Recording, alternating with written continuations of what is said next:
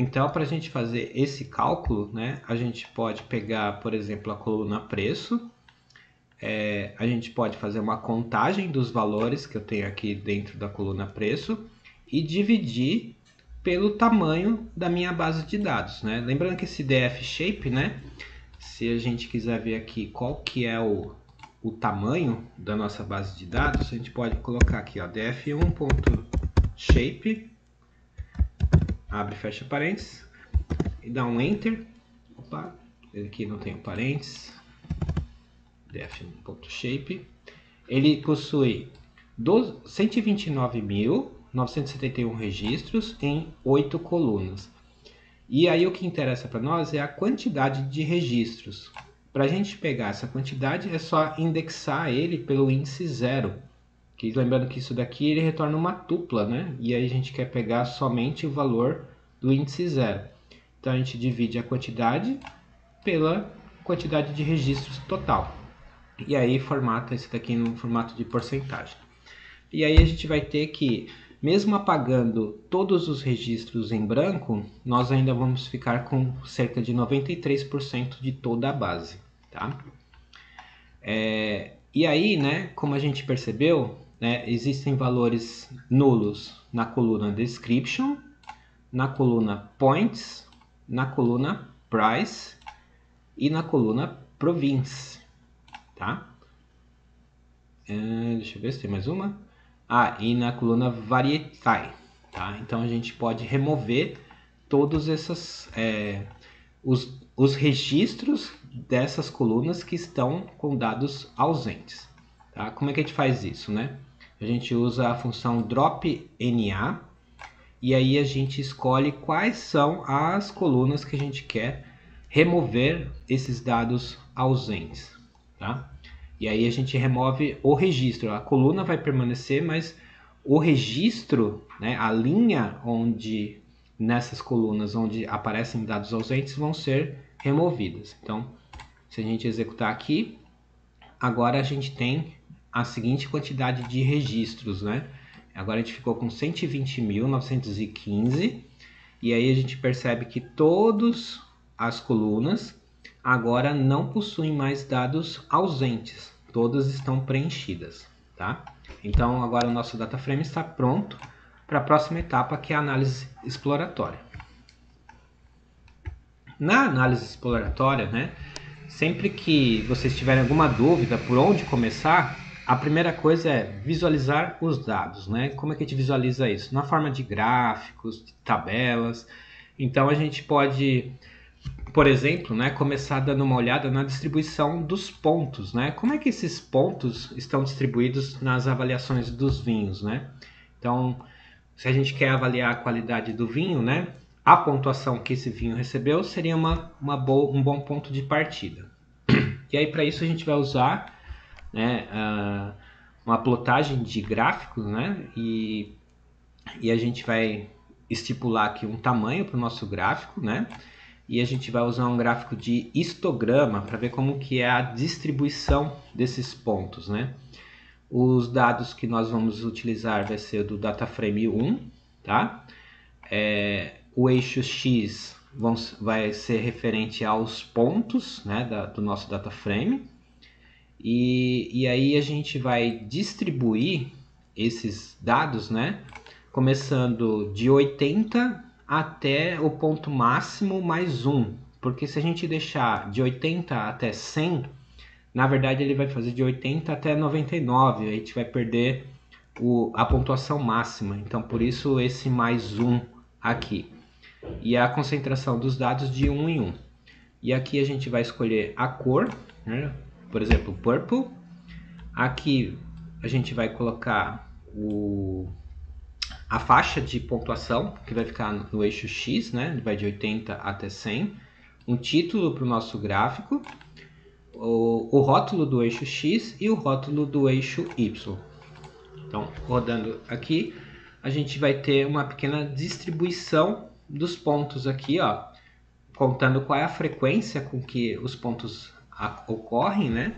E aí a gente pode ver que é, é uma distribuição quase normal, no formato de sino, né? onde a maior concentração está em torno de 85 até 93 pontos, mais ou menos.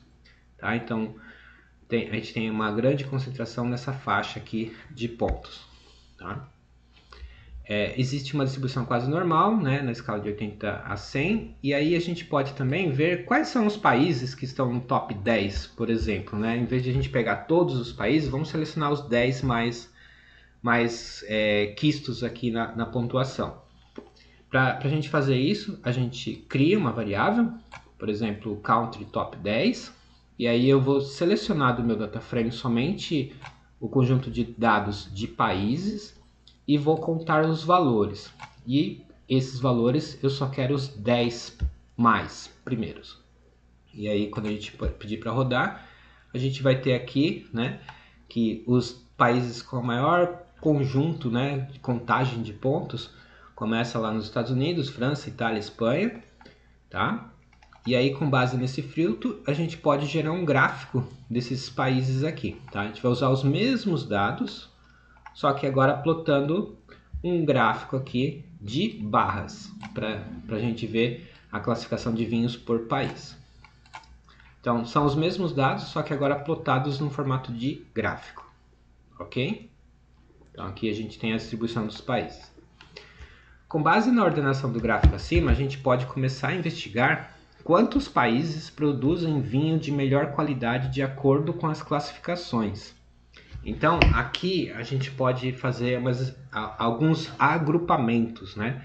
Por exemplo, eu posso agrupar os países por pontos e calcular a sua média. Em vez de eu contabilizar cada um dos pontos de cada país, né, eu faço um cálculo da média e vou armazenando dentro dessa variável melhor qualidade.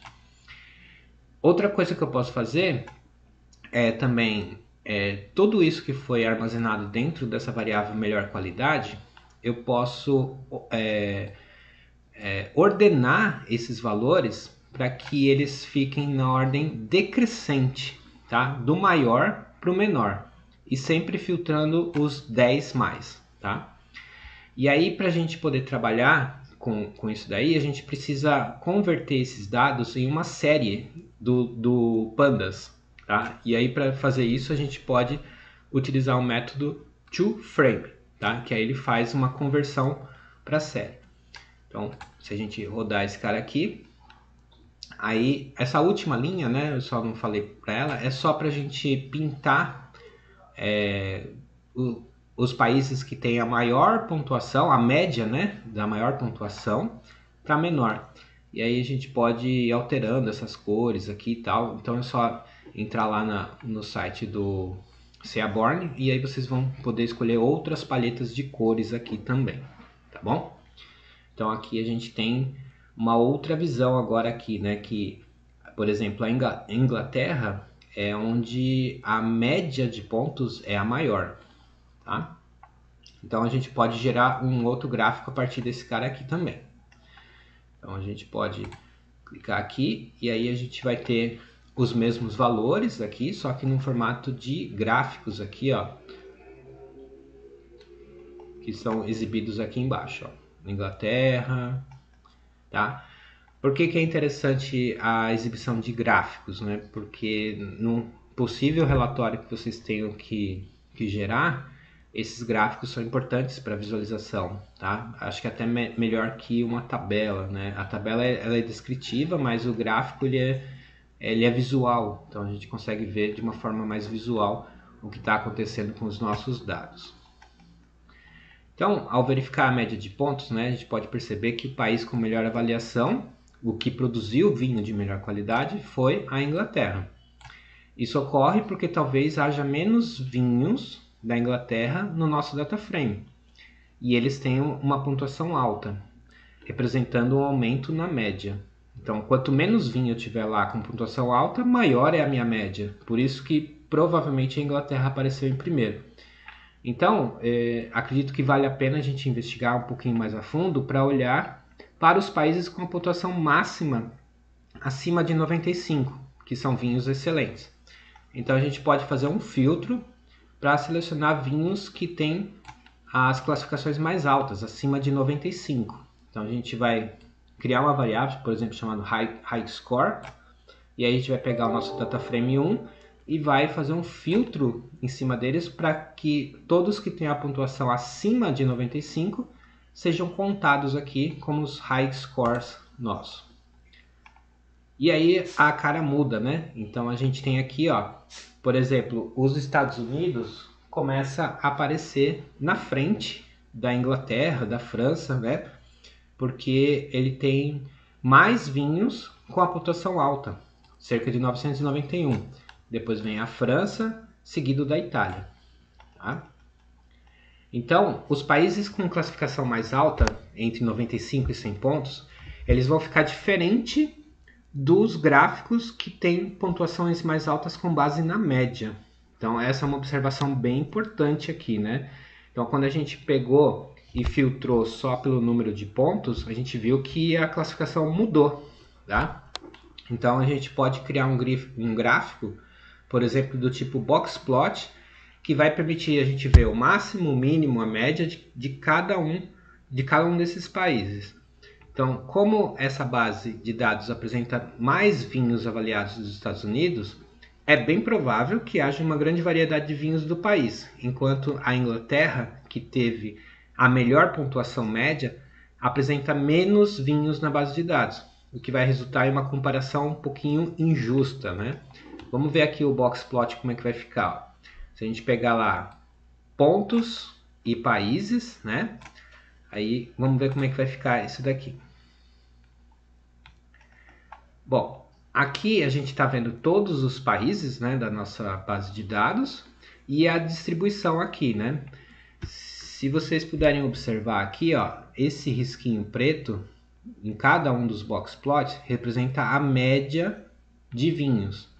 E aí a gente tem o primeiro quartil, o segundo quartil, né? O primeiro quartil, segundo quartil, terceiro quartil e, a, e o valor máximo aqui, tá?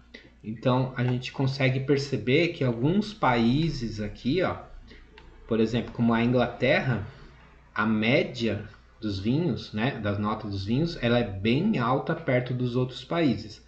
Porém, os outros países, como por exemplo Portugal, tem uma grande concentração de vinhos aqui, ó, tá? E a gente ainda destaca, né? Por exemplo, observando o box plot aqui, a gente pode observar que Portugal possui vinhos lá com qualidade máxima também. Diferente da Inglaterra, né, que não tem nenhum vinho que apareceu aqui na qualidade máxima, mas na média ele tem uma média alta de pontuação, mas na, nenhum na nota máxima.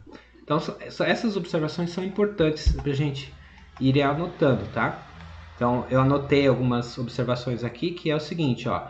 Embora os vinhos da Inglaterra tenham os pontos mais altos em média, vinhos de Portugal, Estados Unidos, Itália, França e Austrália receberam pontuação perfeita de 100 pontos, né? que são esses caras aqui, ó.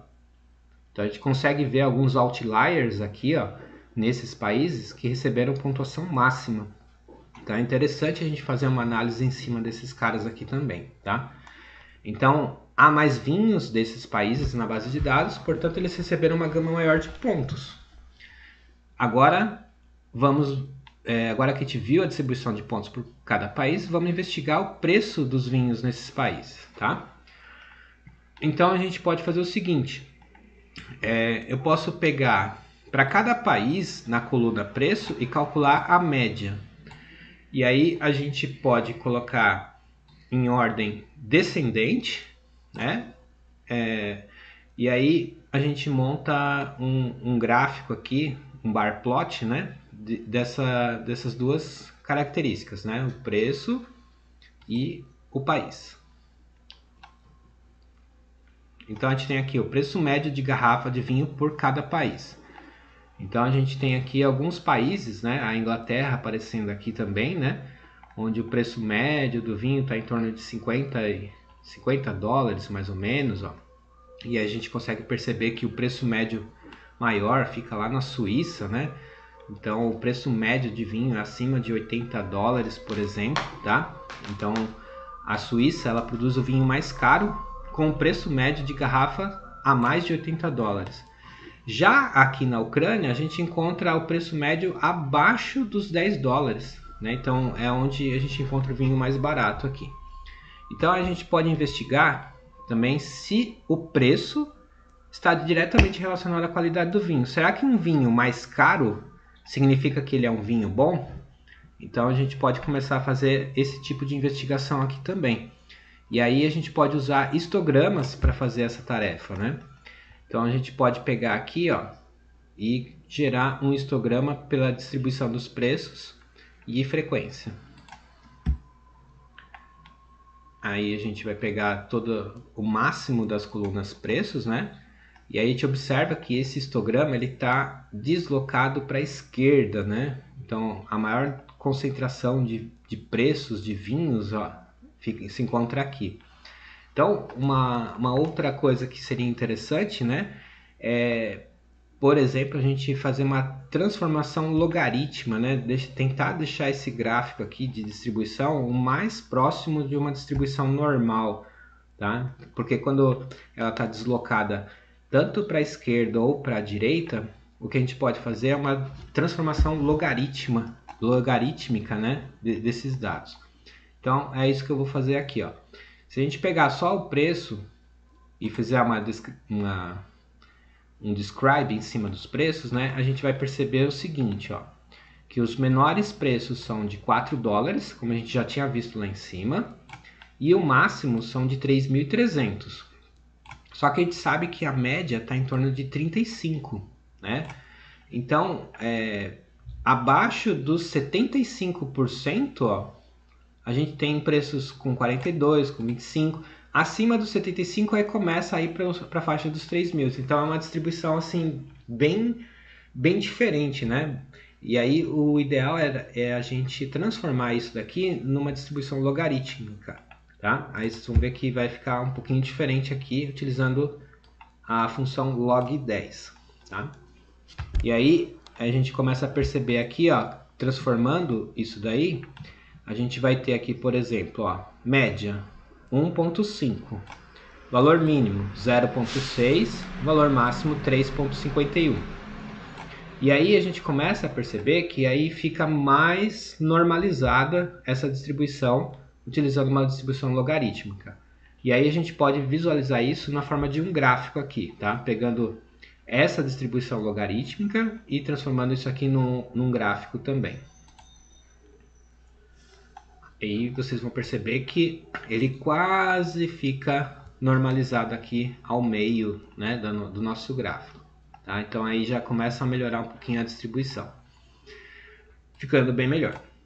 Agora é possível ver uma distribuição quase normal, né? Existe um salto na região dos 10 dólares, então começa aqui, né, 4, 5, quando tem 10 dólares, ele dá esse salto, né? e aí começa a subir os valores, tá? Tendo um pico mais visível em torno de 20 dólares e depois temos outro pico acima de 50. Então, depois que passou dos 50, a gente tem mais um pico aqui, ó, de preços elevados. E aí a gente pode plotar um gráfico do tipo scatter para visualizar se existe uma correlação entre a pontuação e o valor da garrafa. A gente pode usar é, também aqui, né, vale a, a, dica, se vocês quiserem tentar fazer aí, que eu acho interessante, é utilizarem gráficos do tipo heat, heat map, tá? Com mapa de calor. Mapa de calor. São gráficos bem interessantes que podem mostrar esse tipo de relação. E aí vocês conseguem avaliar variável a variável, qual é a relação que uma variável tem com a outra, se ela à medida que uma cresce, a outra cresce junto também, né? Como é, é, o caso, a gente quer avaliar se o preço tem relação com a qualidade do vinho, né? Se os dois crescem juntos, então é um outro tipo de gráfico que pode ser aplicado aqui com bem pouquinho, bem poucas linhas de código, né? E geram gráficos bem interessantes. Mas eu queria mostrar um, uma junção de dois gráficos aqui para vocês, né? Então, eu criei alguns pontos aqui, tá? E aí eu vou juntar esses pontos com o, esses preços aqui que a gente observou. Então, juntando essas duas observações, a gente vai ter um gráfico Só um minutinho que está carregando.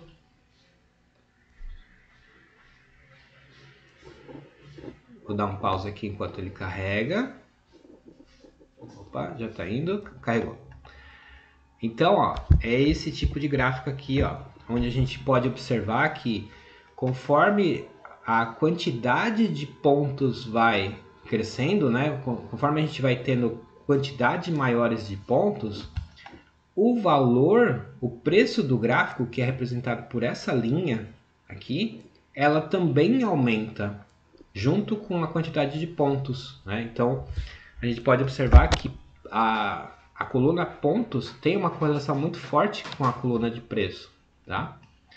Então, o gráfico aqui mostra uma relação positiva entre as duas variáveis, né? entre pontuação e preço. Ou seja, né? vinhos mais caros tendem a receber melhores avaliações. Tá? É uma tendência, tá? não significa que é sempre assim, mas é uma tendência. E também é possível observar dois pontos mais afastados, um na região dos 4 dólares e outro um pouco depois dos 3 mil.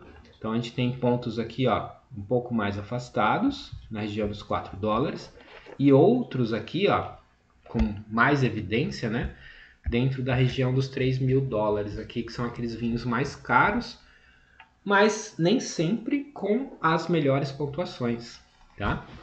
Então esse é um fato a se observar. Então a gente também pode fazer, né, uma listagem para saber assim, é, dentre esses vinhos, né? Qual que é o, o, vinho que tem o preço, o menor preço e qual é o vinho que tem o maior preço? Então a gente pode fazer um filtro, né, dentro do, da coluna preço para saber qual é o mínimo e listando só um valor. A mesma coisa para o máximo e listando somente um valor.